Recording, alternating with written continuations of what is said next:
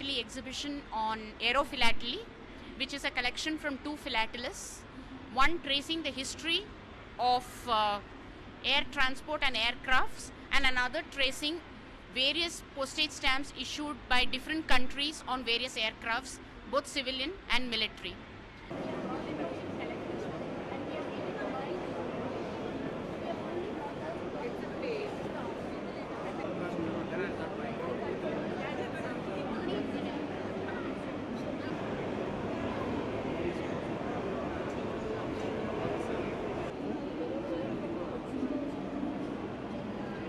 Apart from being a hobby or a, hob- a hobby for kings or a king of hobbies, it is also an investment because the value of the stamp never goes down.